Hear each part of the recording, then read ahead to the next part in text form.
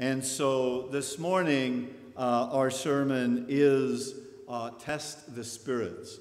And it is a study in 1 John chapter 4. So open your Bibles there, and, um, and we're going to begin there. And while we do that, let's have a word of prayer. Father God, be with us now. Lead and guide, for we ask it in Jesus' name. Amen. So 1 John chapter 4, verse 1, and it simply reads like this.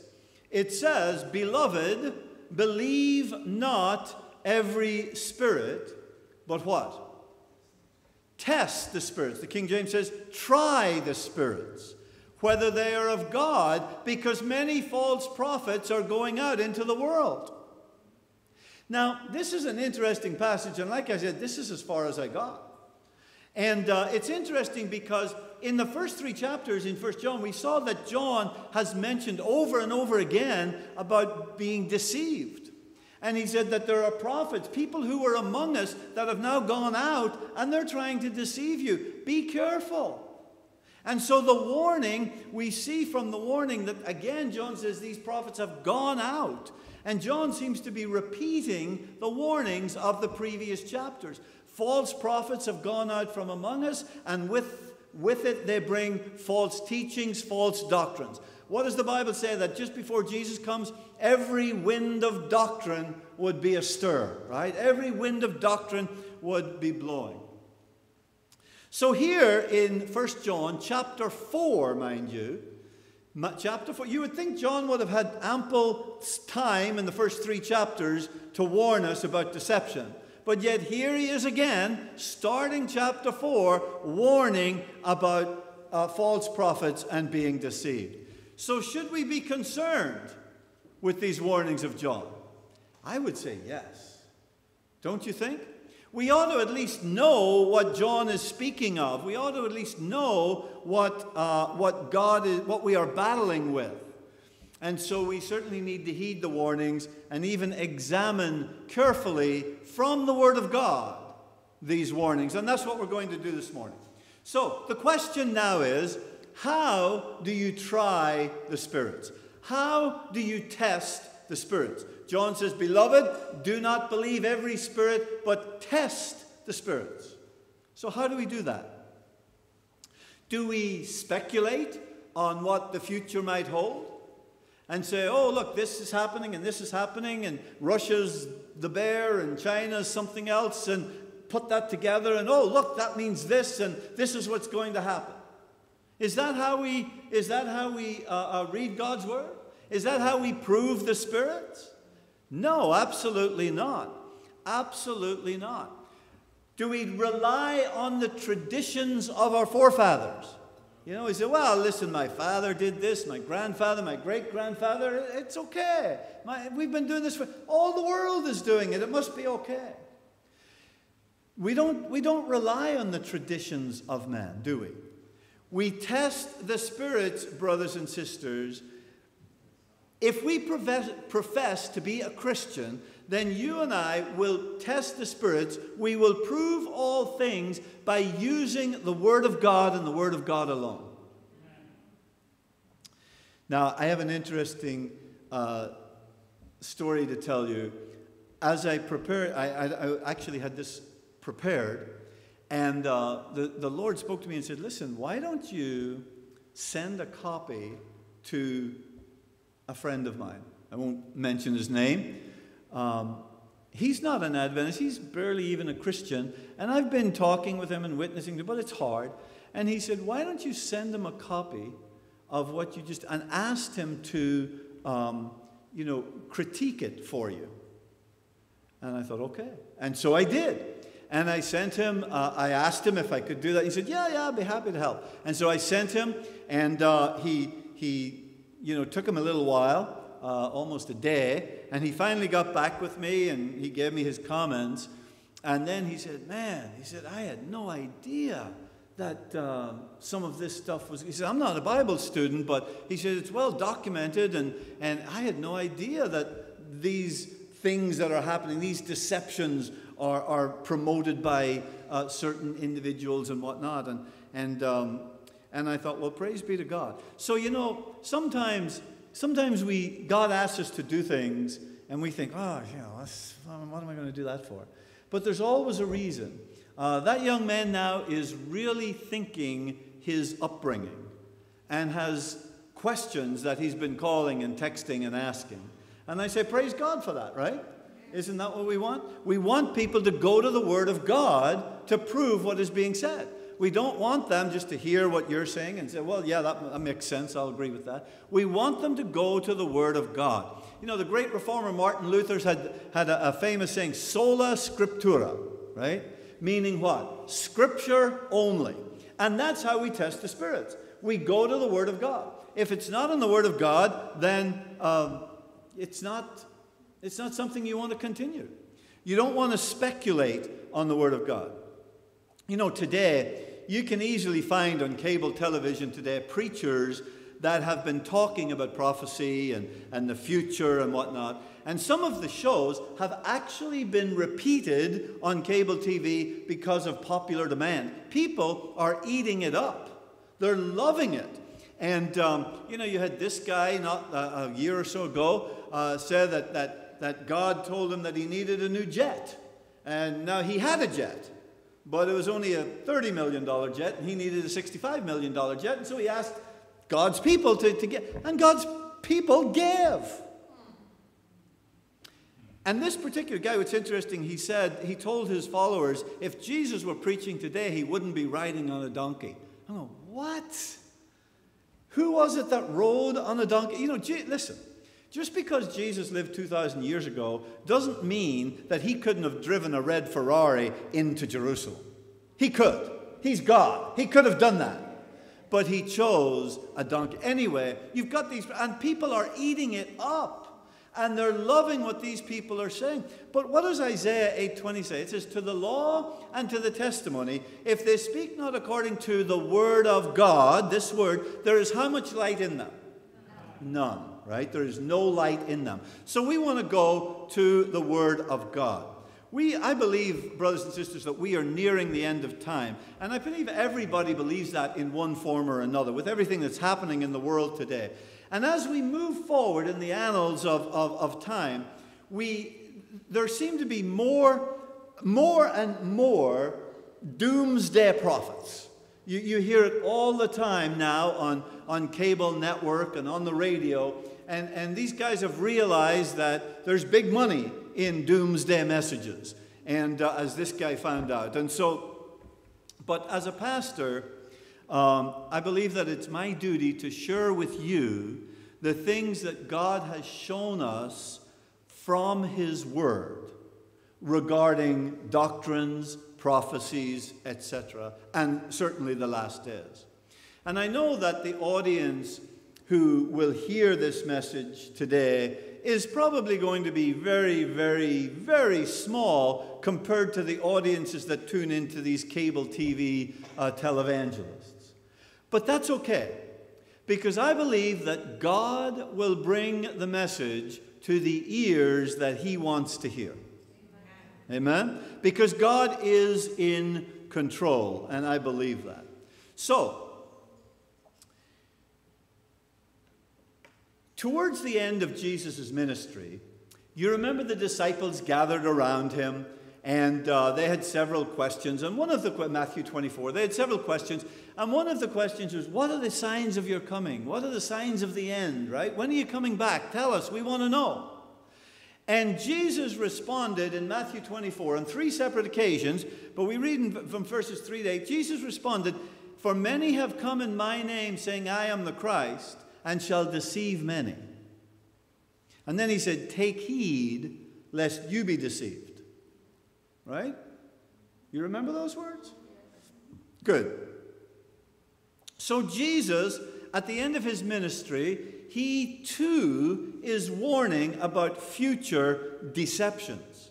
The Apostle Paul, he also warns about these deceptions in 2 Timothy chapter 4, verses 3 and 4, if you're following along, it reads like this It says, For the time will come when they will not endure sound doctrine, but after their own lusts shall they heap to themselves teachers having itching ears. and they shall turn away their ears from the truth and shall be turned into fables. What is truth? God's word is truth, right? And according to Paul, in the end times, people they will they will close their ears, they will turn away from God's truth because they will they've been led by deception, by fables, by stories. And so God's word is truth. So let's dive into that truth today to see what God's word reveals about end time doctrines. Now, there are many deceptions flying around um, in the world today. And certainly, we're not going to have time to delve into all of these deceptions. It would be impossible to try and cover all of these deceptions in one meeting. But I want to share with you today probably what I believe is the greatest deception in the Christian world today. And that is the idea that Sunday is the new Sabbath. What do the scriptures have to say about such a supposed change of the Sabbath that God established from Saturday to Sunday and subsequently worshiping on Sunday? Well, the scriptures say this about Sunday Sabbath. The scripture said this about worshiping on Sunday. Listen carefully. The scripture says absolutely nothing about either one. Absolutely nothing. So why do why does the world worship on Sunday? Why do we regard Sunday as the new Sabbath? Well, I'm going to ask you to stay tuned. And those of you watching online, watching from home, stay tuned. I'm going to, sh- to show you at the end of our presentation today exactly where this idea, this deception came from. Sunday is not even mentioned in the New Testament. Now, um, so why do we worship on Sunday? Well, there are many reasons, depending on who you ask and, and uh, um, uh, what mood they're in. There are several different reasons that they will give as to why they worship on Sunday. We're going to examine some of them today, but none of them, none of those reasons are scriptural. And remember what Isaiah said to the law and to the testimony if they speak not according to God's word, there is no light in them. Right? And so we're going to take a look at some of these texts. Now, while the term Sunday doesn't appear in the New Testament, the term first day of the week does appear on eight separate occasions. most of those have nothing to do, it's just a, a mention, a frame of time. But there are a few that some people will hold on to as evidence that we should worship on Sunday or that Sunday was changed. But I would submit to you that each time the first day of the week is mentioned in the scripture, there is absolutely no title of holiness or sanctity, special sacredness attached to it. None whatsoever. So let's um, you get to the next slide here. So let's take a look now at, um, at this idea that Sunday is the new Sabbath. People will say, probably the most popular um, answer when you ask people, why do you worship on Sunday instead of, of Saturday? Probably the most popular answer, or certainly one of the most popular answers, is this that they claim that Sunday, eh, they keep Sunday holy in honor of the resurrection. After all, Jesus did rise from the grave on the first day of the week. That's very clearly established in Luke 23, and then in the beginning of the end of Luke 23 and the beginning of Luke 24, right? It says, On the seventh day, the Sabbath, they went to the tomb to anoint the body, but because it was the Sabbath day, they turned around and went home. They came back on the first day of the week, and the tomb was empty. So there's no, no doubt that Jesus did rise from the dead on uh, the first day of the week. Now, um, people say that this resurrection uh, is reason for them to change the Sabbath from uh, the seventh day of the week to the first day of the week. But you know, communion, the, the, the ordinance of communion, is actually what symbolizes the, uh, the death, the baptism, uh, the death of Christ. You read that in 1 Corinthians uh, uh, chapter 11, verses 20 through, through 24. And just as communion symbolizes um, the death of Christ, baptism symbolizes the resurrection of Christ. Not Sunday worship, but baptism. You read about that in Romans chapter 6, verses 1 through 6. And I'm giving you the reference because we don't have time today. Our time is limited. But again, prove all things. Go to the Word of God. Don't take my word for it. Go look up these texts. Read these texts. Make, be like the Bereans. Prove all things. So, Romans 6, verses 1 through 6 tell us there that the symbol of Jesus' resurrection is not worship on the day of the sun that was adapted into Christianity by uh, early pagan Rome's sun worship, but it is indeed the beautiful ceremony of baptism, which is a symbol of a new life transformed by the wonder working power of Jesus Christ. And of course, that takes place when we come out of the watery grave of baptism. That old person symbolically dies, is, is buried in that water, and out comes that new person filled with the Holy Spirit. This is the symbol of the resurrection of Christ.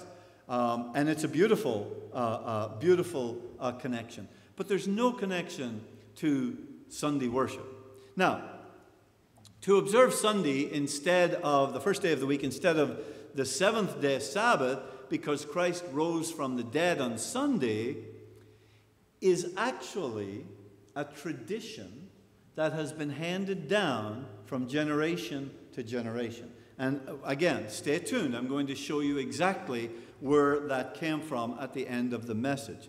Do you remember the words of, um, of Christ to his disciples regarding traditions in Matthew chapter 7, verse 7? Do you remember what he said? He said, Howbeit, in vain do they worship me, teaching for doctrines what? The commandments of men, right? So, where do we want to be today? Do we want to be a people who uh, are swayed back and forth by the traditions of men? Or are we, do we want to be a people who are grounded in the commandments of God? Obviously, the answer is the latter for all of us, right? So Jesus said, and it's interesting because Sabbath is all about worship. Sunday has been made all about worship. And Jesus uses the term worship here when he says, In vain do they worship me, teaching for doctrines the commandments of men. Now, Pastor, you say, well, there's another text in Acts chapter 20. So open your Bibles there, Acts chapter 20, verses 6 through verse 13. And here we say, and again, this is another very common uh, passage that is used to support the idea that Sunday is the new Sabbath. And people will say, look, uh, the, the disciples met on the first day of the week. We read about it in Acts chapter 20. First of all, the whole um, the whole dialogue, the whole uh, uh, um, situation there in Acts 20 is recorded not because they were worshiping, but because Paul worked a mighty miracle when Eutychus, who was one of the parishioners listening to a sermon, fell asleep, fell out of the, the rafters, and died, and Paul brought him back to life. Can you imagine how embarrassing for poor Eutychus, right? coming to church and you fall asleep? We would never do such a thing, would we? But let's be fair to Eutychus. Were, Paul was preaching all day long. And as a matter of fact, we see there in Acts uh, chapter 20, verse 7, that it was clear that this was a night meeting. They were now in the dark part of the day. And um, in Bible times, as you know, the dark part of the day is preceded by the light part. So first comes the light, and we read that in Genesis chapter 1. Uh, God created, first was the day, then came the evening. The morning and the evening were the first day. So this was actually a Saturday night meeting. Paul had been preaching all day long, and poor Eutychus just got a little sleepy, and he just happened to be in a place uh, where you don't, on a seat where you don't want to fall asleep in this particular seat. But he did, and he fell out, and Paul, uh, through the power of the Holy Spirit, raised him back to life. This is the purpose of Acts 27. This is why it's recorded. It's not because they were worshiping, but let's continue. Um, as a matter of fact, by the way, the very next day we read that Paul, which now would be the first day of the week, Paul travels by foot to Assos and then he sailed to Mytilene. And if Paul had considered Sunday as sacred, then why would he spend the entire day traveling on the first day of the week instead of worshiping? Right? It doesn't make sense. And, and by the way, it's interesting to note too if the Sabbath was changed because of the resurrection of Christ, don't you think the disciples would have known that? Uh, they were the closest people to Christ, right? But as we are going to see, uh, they, were conti- they continued to worship on the Sabbath. So, Paul, the record shows that Paul was actually obedient to the Sabbath commandment here in Acts chapter 20. It has nothing to do with Sunday worship. And, in, uh, you know, think about this. Um, think about this for just a minute. Uh, I think there should be a, something coming up on the screen there. Um, think about this. Paul continued to worship on Sabbath long after Christ had died. So you might say, well, the change did wasn't immediate. It was like a year later or a couple of years. No, Paul ministered in the book of Acts. You can see there in Acts 13, Acts 16, Acts 17, Acts 18. All of these accounts are accounts of Paul continuing to worship on the Sabbath day. In fact, in Acts 18, I believe it is, he was in um, uh, uh, um, uh, Antioch, um, well, no, I can't remember where he went, but uh, he was in this place for, for a year and a half. Now, a year and a half, and it says he worshiped every Sabbath to the Jews and the Gentiles. So a year and a half is 78 Sabbaths. So Paul continued to worship on the seventh day Sabbath. But, Pastor, in Acts chapter 20, verse 7, we read that the disciples broke bread on the first day of the week. Now, wouldn't this mean that, that Sunday worship, uh, that it was now a Sunday worship service? But note this, my friends, on the bottom of your screen, you see Acts chapter 2, verse 46. And it says there, and they continued daily with one accord in the temple, and they broke bread from house to house. They broke bread every single day, right? And they ate their meat with gladness and singleness of heart. So, according to this passage, it was the custom of the disciples to break bread daily. And um, Look at the last half. If you look at the last half of the 20th chapter in the book of Acts, it gives us a summary of what, what is probably one of the most important sermons that was ever preached by Paul on, on this particular trip, certainly. And, and, um, and it's one, uh, it's the only one that, that describes in detail, and the, an examination of the context, especially in verse 15, would indicate that it was probably preached that sermon was probably preached on a Wednesday. On a Wednesday. Acts chapter 20, as you keep reading. They broke bread every day. Paul preached on a Wednesday. Should we conclude from that that Wednesday is the new Sabbath? Absolutely not.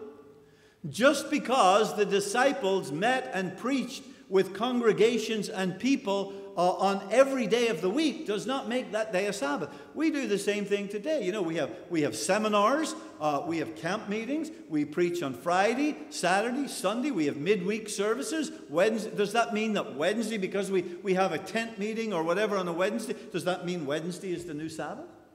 Of course not. And it did not mean that in the disciples' day either. They broke bread daily, and according to Acts chapter 20, uh, this very powerful sermon that Paul preached, most likely, uh, this is after the, the, the, the, Sabbath one here where, where he raised Eutychus from the dead.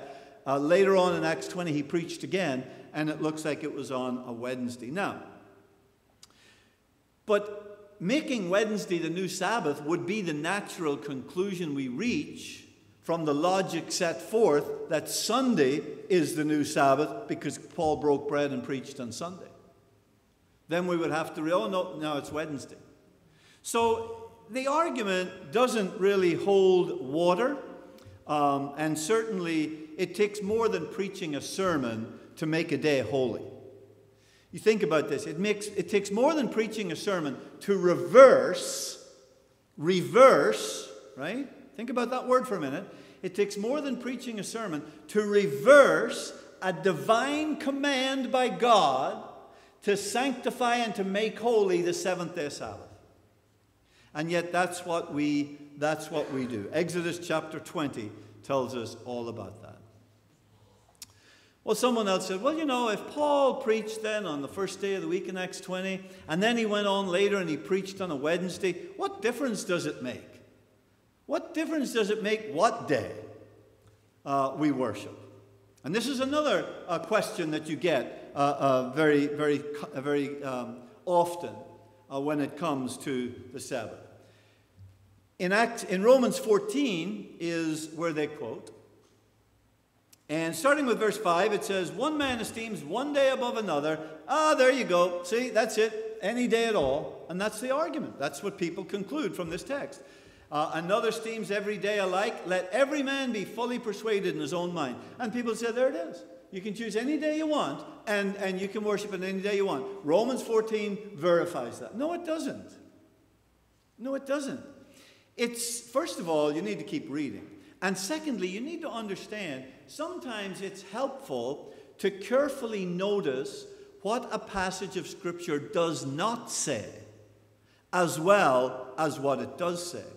You see, verses 5 and 6 of Romans chapter 14 that you see on the screen say absolutely nothing about worship or about the Sabbath. Doesn't mention worship, doesn't mention the Sabbath. They simply talk about regarding a day. Now, to say that this particular day is Sabbath is a totally unwarranted assumption. We're just, we're just guessing. Oh, well, they were talking about Sabbath. How do you know? We need to continue reading. You need to read what comes before and what comes after. Now, in Romans 14, chapter, chapter 14, verse 1, it kind of sets the tone for the entire passage. It indicates that the discussion that they're having focuses on doubtful disputations is what Paul calls it in Romans 14:1. Doubtful disputations. Or in other words, they were disputing matters of doubt, doubtful matters, things that they weren't clear on. Now let me ask you this. Was the seventh day Sabbath an issue that the Jews were not clear on? Not at all. They were rigid. As a matter of fact, they had gone to the opposite extreme, right? They had made the Sabbath, they had reverenced the Sabbath so much, much that they had taken the reverence away from God, the Holy, and they had made it a day of, of, of how they are better than everybody else. And maybe that's what's left a bad taste in people's mouths about the seventh day Sabbath. I don't know. But that's not Sabbath worship, is it? So the Jews certainly knew about, they weren't disputing the seventh day Sabbath. The key to the passage is found in verse 6, which is on your screen. Look at what it says He that regards one day regards it unto the Lord, and he that regards not the day to the Lord, he does not regard it.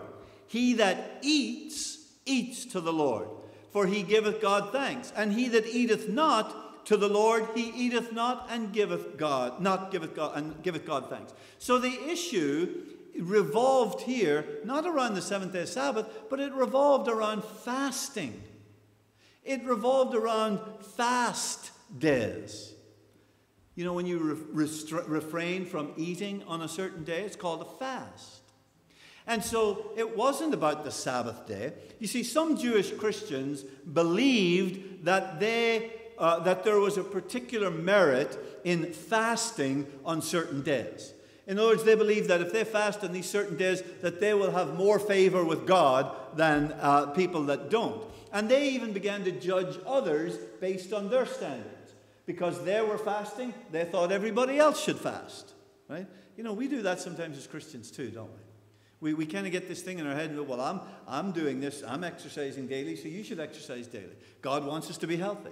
Well, well, that's exactly what was happening. We don't want to be, you don't want to be like the Pharisees. We don't want to be like the, the, the Jews back then, right? So this is what they were doing. They were judging others by their own standards.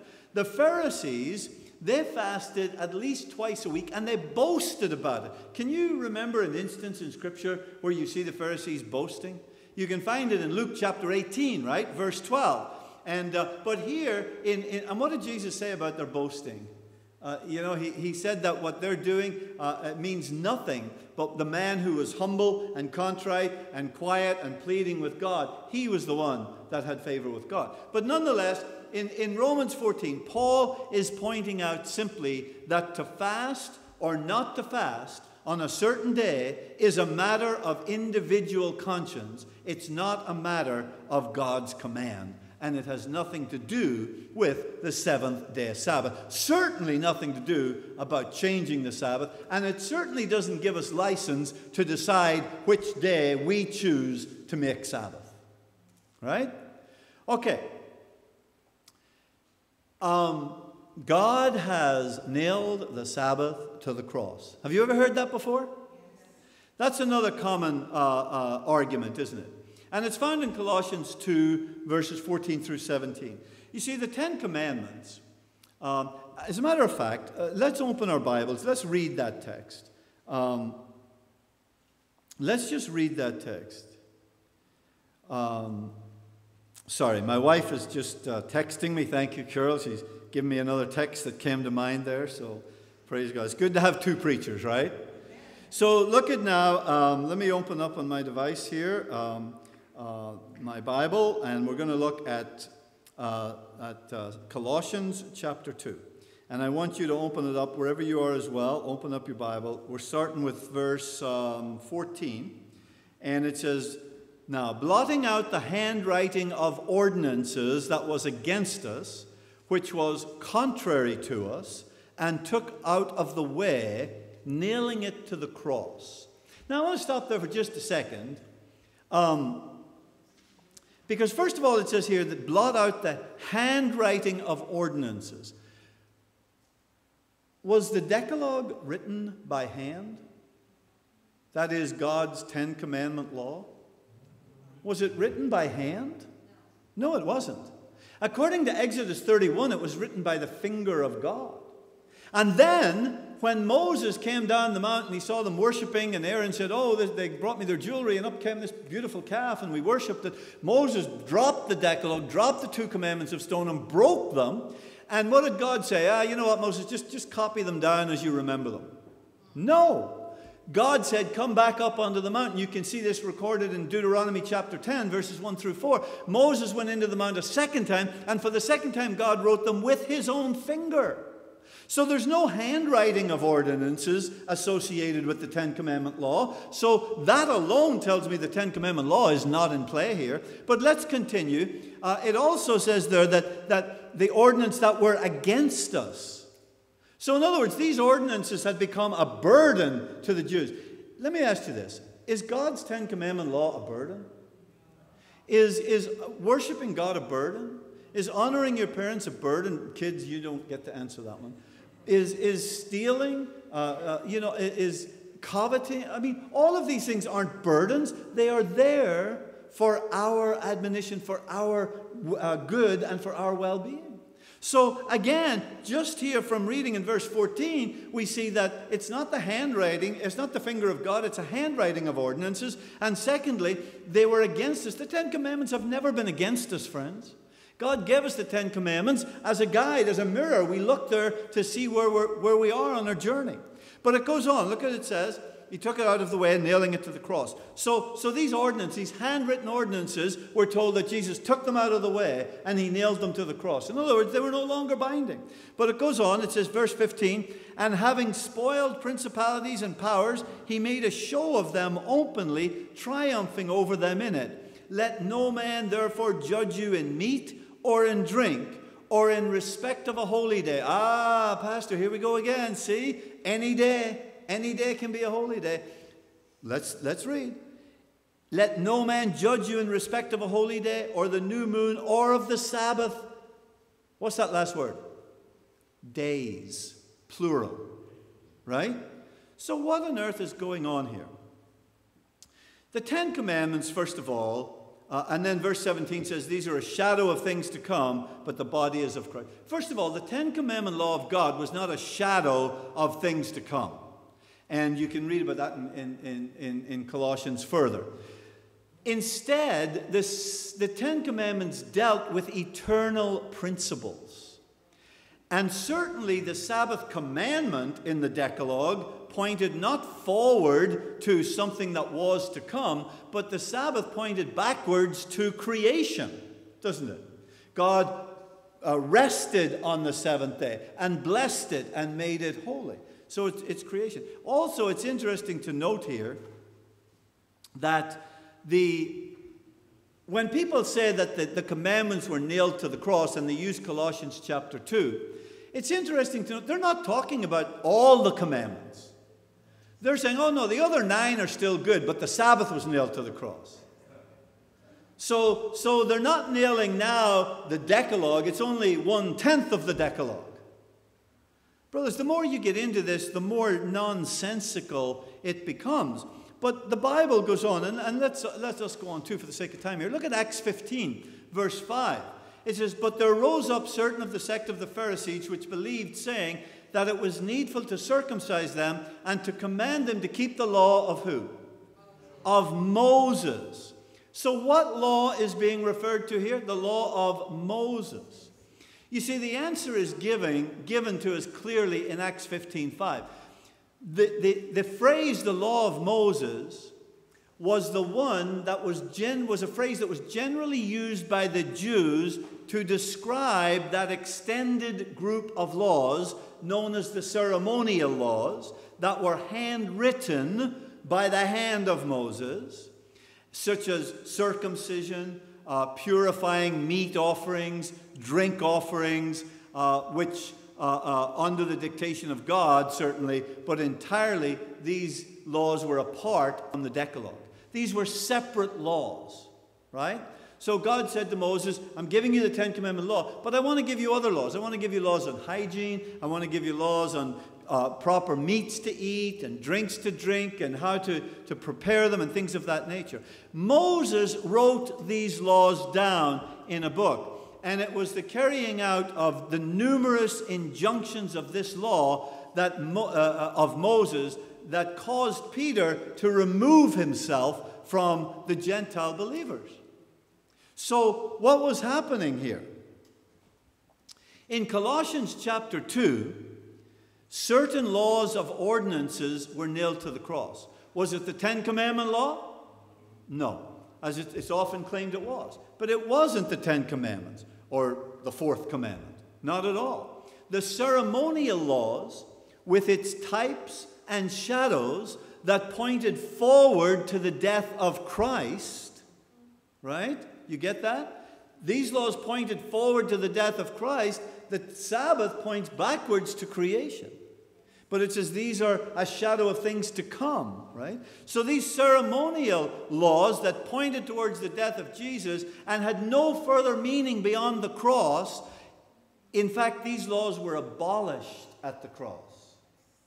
They were done away with at Calvary. Jesus, we just read in Colossians that he removed them, right? Because they were contrary to the Christian.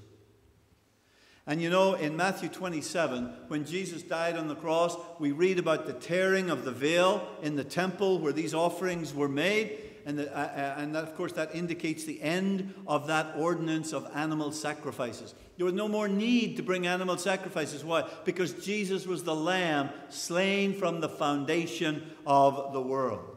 And um, in fact, Ephesians 2.15 says that Jesus abolished the law of commandments contained in the ordinances. So this is why Paul wrote in Colossians 2:16 that we are no longer judged by meat offerings and drink offerings and Sabbath days, which were a shadow of things to come. Now note that these ceremonial Sabbaths, these were yearly Sabbaths And they didn't always fall on the seventh day of the week. Uh, they, they fell on a certain day in a certain month uh, every year. And as you know, a certain date on a certain month every year falls on a different day every year, right? And so these were, were called Sabbaths. They were called holy days. But they were not the Sabbath of the Lord our God, were they? As a matter of fact, in Leviticus 23, there's a text here I want to share with you. You can see it on your screen. It says, Leviticus 23, verse 37 and 38. Look at this. It says, These are the feasts of the Lord which you shall proclaim to be holy, holy convocations. To offer an offering made by fire unto the Lord, a burnt offering and a meat offering, a sacrifice, a drink offering, everything upon this day beside the Sabbaths of the Lord and beside your gifts. So, what is Paul saying here? He's saying that these Sabbaths, these holy days, are separate from God's Sabbath, from the seventh day Sabbath. And so now the mystery of Colossians 2, verse 14 through 17, is completely cleared up.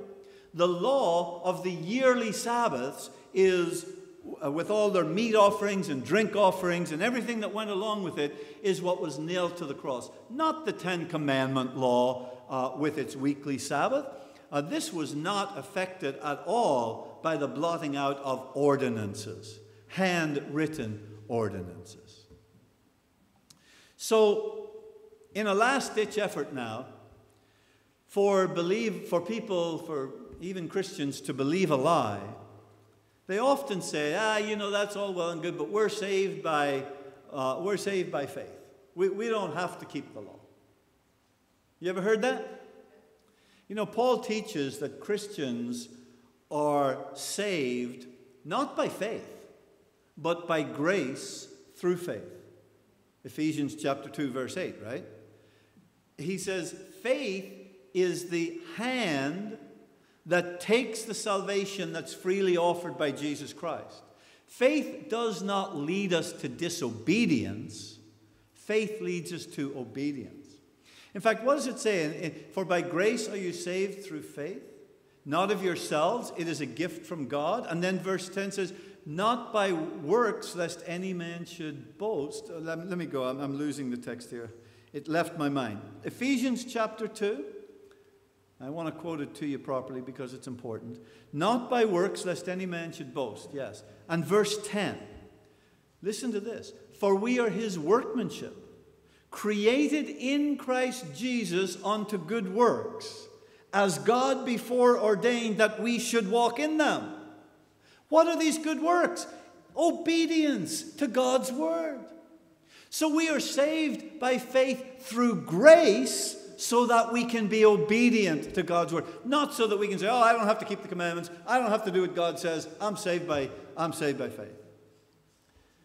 You know, Paul states in no uncertain terms in Romans 3.31, he says, do we then make void, uh, make the law through, uh, do we then make void the law through faith? And I love how he ends, he says, God forbid. Right? In other words, it's like, I wouldn't dream of doing that. So, where did this idea then that Sunday is the new Sabbath come from? Well, I told you earlier to stay tuned and, um, and we'd get to it. So, here it is. I hope, I hope you're sitting down. And, and I forgot to bring this little book with me. I should have brought it, but I hope you're sitting down uh, for this, especially those of you viewing at home. Why do Christians today worship on Sunday? You know, I grew up in the Catholic Church. I went to Catholic school, and we had what was called a catechism, a Catholic catechism. And uh, in our catechism, we, we never opened the Bible in our school, it was always the catechism.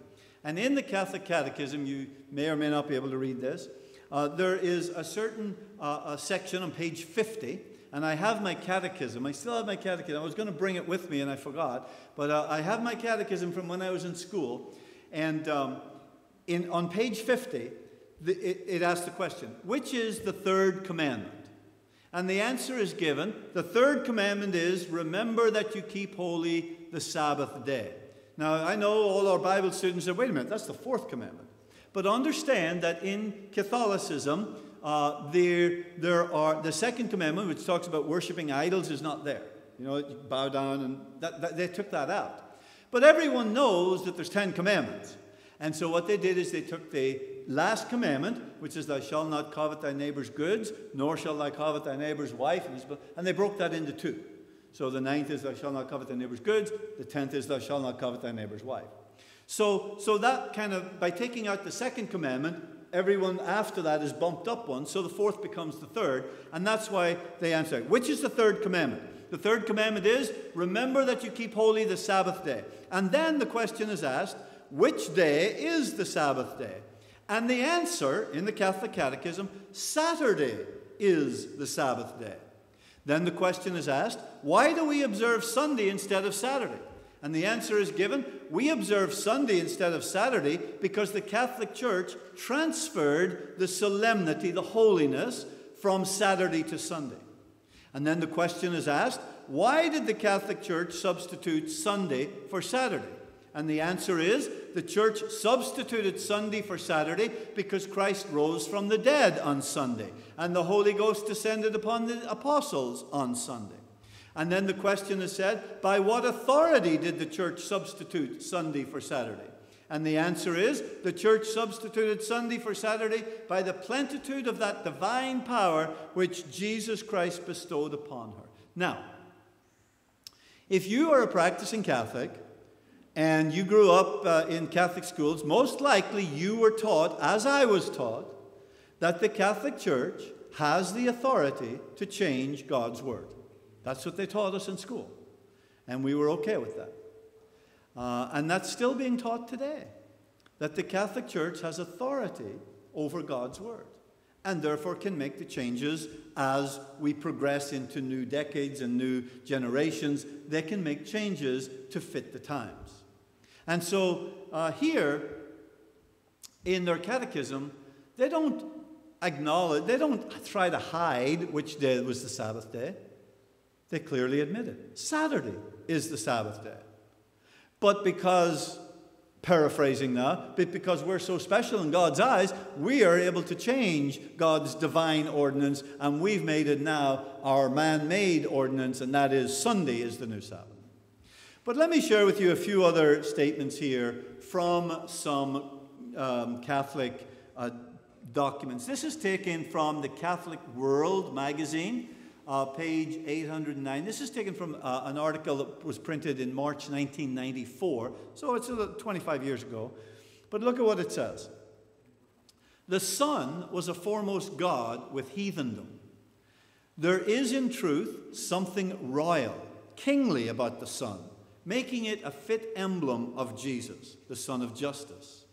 Hence, the church in these countries would seem to have said, talking about heathen countries, keep that old pagan name. It shall remain consecrated, sanctified. And thus, the pagan Sunday, dedicated to Balder, the pagan god, became the Christian Sunday, sacred to Jesus. So there is no, there is no denying where the change from Sabbath to Sunday came from. If you want to know why today Christians practice Sunday as the new Sabbath, you only have to look to the Catholic Church. There's a few other statements here I want to share with you from Catholic sources. This is from the Catholic Mirror. It says, Reason and sense demand the acceptance of one or the other of these alternatives either Protestantism and the keeping holy of Saturday or Catholicity and the keeping holy of Sunday. Compromise is impossible.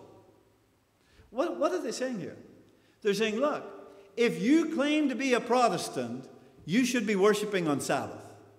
If you're worshiping on Sunday, you're a Catholic. You can call yourself whatever you want, but you are following the ordinances of the Catholic Church, and you, you may claim to be a Protestant, but if you worship on Sunday, you're a Catholic. that's basically what they're saying. Here's another one Christendom is indebted to the Catholic Church for the institution of Sunday as the Sabbath day. Again, taking from, taken from the Sunday Mirror. Christendom is indebted to the Catholic Church for the institution of Sunday as the Sabbath day. Friends, I just want you to know if you are worshiping on Sunday, you are not honoring God the way He asked you to honor Him. He said, Remember to keep holy the Sabbath day, the seventh day. For in six days shall thou labor and do all your work. And then it says that God blessed the seventh, the seventh day, sanctified the seventh day, made that day holy. And now man is coming along, the Catholic Church have come along and said, no, well, you know, that's what God said, but we're making Sunday holy. And they're, they don't, they're, not, they're not ashamed to admit it, they're not hiding it. And you have to give them credit for that. They're not trying to sneak it in. This is an open, bold faced deception. This is kind of like an in your face deception. It's like we are so powerful, we are so great, uh, the whole world wanders after us that we can throw this deception right in your face, and you know what? You follow right along. You're either a Protestant and worship on Saturday, or you're a Catholic and worship on Sunday. That's what the Catholic Church is saying. Just a, a one more here, uh, one or two more. In keeping Sunday, again, this is taken from uh, uh, the question box, which is a Catholic uh, uh, book on page 99. It says, In keeping Sunday, non Catholics are simple, uh, that simply following the practice of the Catholic Church for 1800 years, a tradition and not a Bible ordinance. Now, what did Jesus say about traditions and worship in Mark 7, verse 7? In vain do they worship me, teaching for doctrines the commandments of, in this case, the Catholic Church. There is no mystery about where Sunday worship came from. It did not come from Calvary. It did not come from the disciples. It came hundreds of years later as these pagan tribes were in, embraced by, by pagan Rome and the emergence of the Catholic Church embraced all these. They embraced Sunday worship. And, brothers and sisters, today uh, we, pro- people who, who call themselves Protestants still abide by the ordinance of men. Here's another one. There, there, there are many of these. This is the last one I want to share with you. Had she not such power, that is the church, she could not have done that in which all modern religionists agree with her. She could have substituted the observance of Sunday, the first day of the week, for the observance of Saturday, the seventh day of the week. A change for which there is no scriptural authority. And yet, all the world worships on Sunday, it seems like. Why? Prove, John said, test the spirits, prove all things. Now, look, there are many, many more uh, admissive statements from the Catholic Church, and, but, but for the sake of time, we, we, we don't have time to go through them all right now. But the seventh day, the Bible tells us the seventh day is what was blessed by God. It was given at creation in Genesis 2. We're told in Luke chapter 4 that Jesus kept it holy. He went as his custom was, as his custom was on the Sabbath day. And we're told that Paul and the disciples observed the Sabbath day. We saw those texts in, throughout the book of Acts for years. And not only that, brothers and sisters, in Isaiah 66 there's an interesting text that says when the old when the this old earth is destroyed and created anew, that we will worship together in heaven from one Sabbath to the next. Right? Isaiah 66, for those of you taking note, that's verse 22 and 23. Think about this for a moment. God created this, rested on the seventh day and blessed it and made it holy at creation. The Jews continued to worship on the Sabbath all through the Old Testament. Still do today, but all through the Old Testament. They worshiped on the seventh day Sabbath. Then along came Jesus. He, as his custom was, worshiped on the Sabbath. Then he was put to death, horribly tortured, and died. The disciples continued to worship on Sabbath long after his death. Then all of a sudden, the Catholic Church comes along and says, Nope, we're going to change it to Sunday. Now the whole world worships on Sunday. But the Bible says when Jesus comes and we get to heaven, we're going to worship on Sabbath again. Does that make sense? We go Sabbath at creation, Sabbath in the Old Testament, Sabbath with Jesus, Sabbath with the disciples, Sunday for us today, and then Sabbath back in heaven. What, why, why are we breaking that cycle? No scriptural authority is what we hear from the Catholic Church. So why interject the first day of Sunday as, the, as, as, the, as a holy day, only to go back to the seventh day Sabbath uh, when we get to heaven? Brothers and sisters, the Sabbath is part of God's Ten Commandment law and cannot be separated. James chapter 2 says if we break one of those commandments, we break them all. That includes the seventh day Sabbath. You cannot remove that law that was written with the very finger of God. You cannot disregard that law and expect to be uh, uh, expect to do what God is asking you to do. Expect to be in harmony. Expect to go. Oh, I'm saved by faith. I don't have to be. Dis- I don't have to be obedient. It's like your child saying, you know, you ask your child to do something, and you go, oh yeah, yeah, I'll do it, but I'm going to do it my way and, and they end up doing it totally, uh, you know, wrong and, and, and improper and getting themselves in trouble. And, and, and you as a parent look at them and say, I told you how to do it. And that's what God is saying to us today. God is saying, I, I showed you. I've given you the way. What, why, are you, why are you detouring? Why are you going after man's way? I told you how to do it. And we say, it doesn't matter. I can do any day I want. And God says, no, you can't. I didn't give it. I didn't make any day holy. I made the seventh day holy. And we somehow have got it into our minds that it doesn't matter. Would we do that with any other commandment? Thou shalt not commit adultery. I know you're married and I'm married, but it doesn't matter. Come on, we can have an affair. It's no big deal. Or, or we go, well, I know the Bible says not to covet, but man, I'm, I'm getting one of those. That car, wow, that's something. Come on. I'm going to I'm going to break into his house and steal that car because you know what? It doesn't matter. It really doesn't matter. I'm saved by faith. I, all that stuff's all that stuff's nonsense. Brothers and sisters, that is so illogical and so nonsensical. It's ridiculous. And yet we do that with the seventh day Sabbath. Many reasons given. Does God change? Hebrews 13, verse 8 says that Jesus Christ is the same yesterday, today, and forever. And I know that we've focused on Sunday and we're a little over time, uh, but brothers and sisters, you can do your own study on the Sabbath. Open up the Word of God and study which day is the Sabbath. Which day is the Sabbath of creation? Which day was the Sabbath through history? Which day was the Sabbath with Jesus? Which day was the Sabbath uh, with the disciples? And you will come to no other conclusion as you finish the book of Revelation that the seventh day Sabbath is the, the seventh day is the Sabbath of the Lord. So where did Sunday come from? We now know where it came from.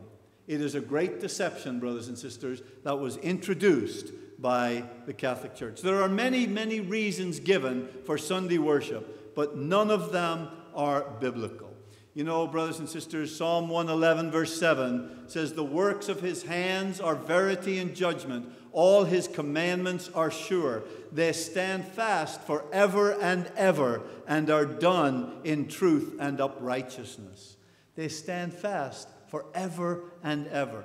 1 John 3 4, we studied this a couple of weeks ago. Whosoever commits sin also commits lawlessness, and sin is lawlessness. The King James Version says, Whosoever commits sin transgresses also the law. What law? The law of God. For sin is the transgression of the law. If you break God's law, you are committing sin. If you fail to worship on the Sabbath, knowing that, that it is the seventh day of the week that God sanctified and set aside, and you choose openly to worship on any other day, brothers and sisters, you are disobeying God. It's that simple. And we close with 1 John chapter 4 verse 1. Back to this text. Beloved, do not believe every spirit, but test the spirits to see whether they are from God, because many false prophets have gone out into the world. Friends, don't be fooled by the traditions of man. Stay firm in the Word of God. Jesus is coming, and I believe Jesus is coming soon. And, brothers and sisters, you and I need to be proving, testing, taking heed lest we be deceived. Jesus is coming. But you know what? When He comes, He is coming as our friend. He is coming as your friend, as my friend. This world, this world belongs to Satan. This world belongs to the devil. It needs to be destroyed. And when Jesus comes back, he's not going to put a band aid on this world and, and keep on going. This world will be destroyed according to Isaiah. And it will be recreated anew. And in that new earth, we will get back to Sabbath worship, week after week, the seventh day, as God commanded. And I say, you know what? Even so, come, Lord Jesus.